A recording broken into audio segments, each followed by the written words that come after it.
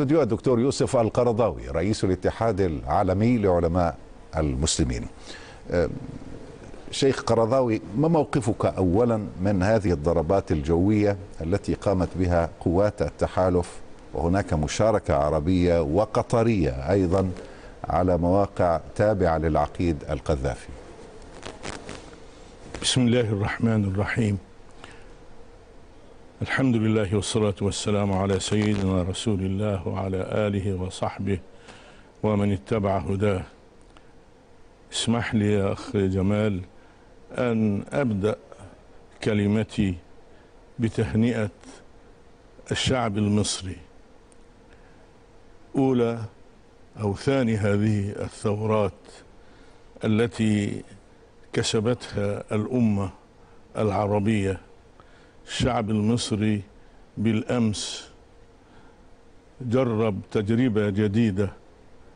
خاض انتخابات حرة لأول مرة والناس ذهبوا بعشرات الآلاف وبالملايين. لأول مرة الشخص يقول أحس بأني لي قيمة إن صوتي هيكون له حي يعني يعمل شيء أو ينفي شيء. ما كان الناس ما كانوا يذهبون إلى الصناديق اللي, عمل اللي هتعمله الحكومة اللي عايزاه الحكومة هتعمله. رحت أو ما رحتش هتملى الصناديق وتعمل اللي هي اشياء فما كانوا يذهبوا لأي استفتاء ولا لأي هذه الأشياء إلا تحلة القسم. الناس ذهبوا بكثافة وأكثر من ثمانين في المئة وقال من قال نعم وقال من قال لا الأكثرية قالت نعم. فهذا يعني أول مرة الناس يقول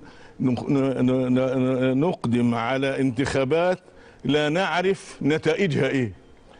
مين اللي هيكون لمين مع إن كل شيء بيبقى جاهز قبلها زمان. فنحن نهنئ الشعب المصري ونرجو أن نهنئ عن قريب الشعب الليبي ونهنئ الشعب التونسي من قبل ونهنئ بعد ذلك الشعب اليمني والشعب السوري وكل الشعوب التي تتطلع إلى الحرية. كنا نود أن لو استجاب القائد الذي يحرص على اسم القائد دائما والقيادة ليست مجرد كلام القيادة إحساس بالجندية. القيادة ليست كلاما إنما زعامة حقيقية.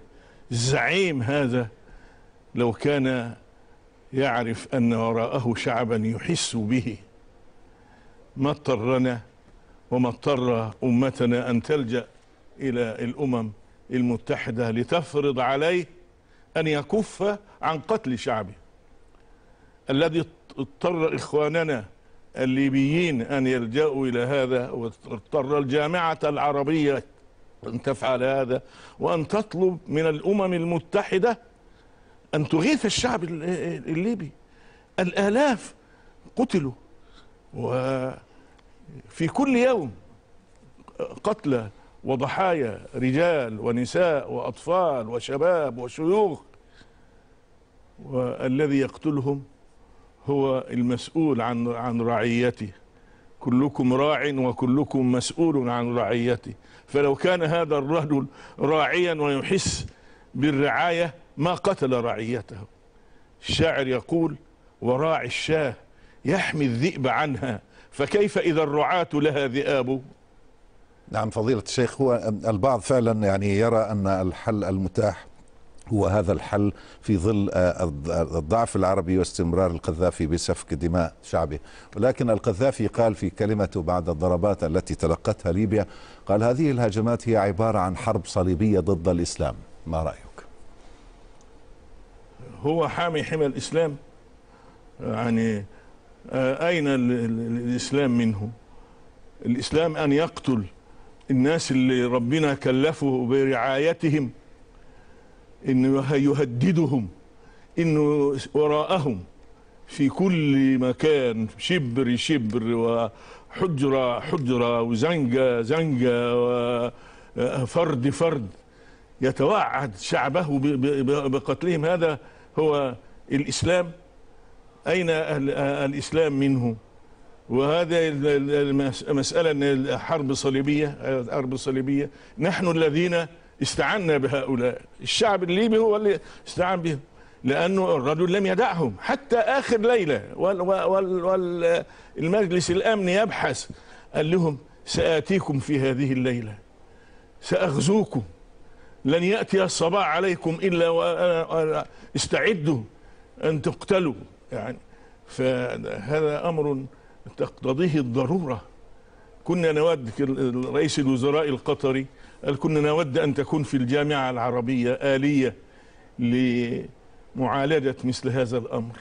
ولكن للأسف ما عندناش. نحن استعنا أيضا بهيئة دولية. عندنا بنستعن بالغرب كما يقول بعض نحن إحنا لم نستعن بالغرب إنما استعنا بهيئة الأمم المتحدة بمجلس الأمن الدولي استعنا بهيئة عالمية. لأن ماذا نفعل أمام الناس؟ وكل يوم يقتل أناس بأسلحة ليس في مقدرتهم أن يقاوموها. هو ما- ماذا تفعل هذه الثورات؟ هذه الثورات ثورات شعبية سلمية. تقوم و بتظاهرات سلمي سلمية. لا يحمل أحد سيفا ولا سكينا ولا حجرا ولا عصا. لا يحمل إلا حنجرته يهتف. إسقاط النظام. الشعب يريد إسقاط النظام. الشعب يريد تنحية الرئيس. أنا أقول هذا الناس في اليمن؟ ولا قالوه في مصر؟ وقالوه في تونس؟ ويقولونه في ليبيا؟ فكان جزاؤهم أن يفعل بهم ما لا يجوز ان أن يفعل. كان كان هذا يعني أمر اضطراري.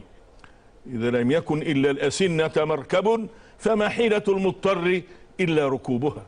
كنا نود مثل هؤلاء الحكام أن يصغوا إلى شوقي وقد قال من حوالي قرن من الزمان حينما اكتشف قبر توت عنخ آمون الملك الفرعوني المع- المع- المعروف قال في شوقي قال قصيدة شهيرة وكان من هذه القصيدة بيتان شهيران يخاطب فيها توت عنخ آمون هذا الفرعون القديم يقول له زمان الفرد يا فرعون ولى ودالت دولة المتجبرين وأصبحت الرواة وأصبحت الرعاة بكل أرض على حكم الرعية نازلين. حكم الفرد المطلق انتهى. إنما هؤلاء الناس لا يريدون أن يفهموا هذا. تمر عليهم الأيام ونسوا وجهلوا أن الشعوب تغيرت وأن الدنيا تطورت وأن العقدة انحلت وأن الشعب أراد الحياة واستجابت له ال- ال- ال- الأقدار. الشعلة اتقدت والشرارة انتهت تهيؤها كان لابد أن يحدث ما يحدث. هؤلاء لم يفهموا التاريخ لم يقرأوا التاريخ ولو قرأوه لم يفهموه ولو فهموه لم يستجيبوا له. فضيلة الشيخ أرجو أن تبقى معنا وهناك من يقول بأن هؤلاء الشباب هم أكثر دهاء وكأنهم متمرسين أكثر من السياسيين القدامى. يعني آه، نحن أمام ثورة شباب في, ال- في الواقع. أرجو أن تبقى معنا. آه، ما قاله الأمين العام لجامعة الدول العربية عمرو موسى قال إن قصف القوات الدولية لليبيا يختلف عن الهدف من فرض الحظر الجوي الذي أقرته الجامعة. موسى أكد في حديث لوكالة أنباء الشرق الأوسط المصرية أن الهدف هو حماية المدنيين وليس قصفهم مضيفا أنه آه، تجري حاليا مشاورات لعقد اجتماع طارئ لمجلس الجامعة العربية لبحث تطورات المنطقة العربية وخاصة في ليبيا. إذا إذن دكتور القرضاوي هذا ما قاله عمرو موسى آه، آه، قال الهدف هو حماية المدنيين وليس قصف المدنيين بطبيعة الحال. قال هذا هو الهدف من فرض الحظر الجوي الجوي. مسؤول أمريكي أيضا رد على عمرو موسى قال إن هذه الضربات هي في إطار تطبيق قرار الأمم المتحدة. هل هذا يعني أن موسى يرفض توجيه الضربات الجوية برأيه؟ هذا عندنا قاعدة يعني فقهية معروفة تقول ما لا يتم الواجب إلا به فهو واجب. ولا تستطيع أن تحمي المدنيين في شيء أساسي في قرار الأمم المتحدة أو قرار مجلس الأمن وهو ضرورة حماية المدنيين من قصف القذافي ومن تتبعهم في كل مكان في مصراتة أو في الزاوية أو في بنغازي لا يريد أن يترك أحدا. كيف نستطيع أن نحمي هؤلاء من ضربات القذافي وهو يملك أشياء كثيرة؟ هذا ما يقتضي أن ندافع عن المدنيين. القرار فيه نص وهو ضرورة حماية المدنيين. لا نستطيع حماية المدنيين إلا إذا قلنا فقط نمنع الطيران. نمنع الطيران هذا أشياء لازمة. حتى نحمي المدنيين من تتبع كتائب القذافي ومرتزقة القذافي والقوات الجوية والقوات البرية والقوات البحرية التي كانت تضرب الناس في كل مكان لكي نحمي هؤلاء مضطرين إن إحنا نستخدم ما لا بد منه. والكل أجمع انه لا يجوز إنزال بري في أي مكان في ليبيا لا في مشرقها ولا مغربها ولا شمالها وجنوبها لا يجوز. هذا ليس هذا ورد أيضا في القرار قرار مجلس الأمن فضيلة الشيخ. أيضا البعض يتحدث عن استخدام القذافي لمدنيين كدروع بشرية في باب العزيزيه تحت عنوان أنهم يدافعون عن عن القائد. في إزاء هذا الوضع رأي الشرع بهكذا قائد يستعمل شعبه دروع بشرية؟ ما رأيه؟ هو العلماء في قضية في الفقه الإسلامي اسمها التترس يعني كلمة الدروع بيسموها يعني يجعل الناس ترسا. لو واحد عنده أسارة مسلمين وجاب الأسارة دول وحطهم قدام الجيش الإسلامي أو أطفال لا يجوز قتلهم أو نساء أو شيوخ مما الإسلام لا يجوز قتل أي واحد لا يجوز قتل إلا من يقاتل. حتى في الحرب الرسمية رأى النبي صلى الله عليه وسلم امرأة مقتولة في إحدى الغزوات فغضب واستنكر وقال ما كانت هذه لتقاتل. فلا يجوز الإسلام لو جماعة من المشركين أو الأعداء جاءوا ببعض هؤلاء البشر الذين لا يجوز قتلهم واتخذهم تروسا فالعلماء لهم في ذلك فقه طويل عريض يعني وله شروط وله قيود.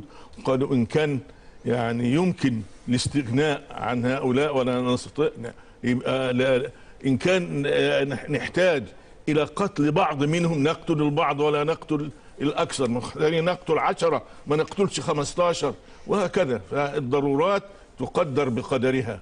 الدكتور يوسف القرضاوي رئيس الاتحاد العالمي لعلماء المسلمين. فضيلة الدكتور شكرا جزيلا لك.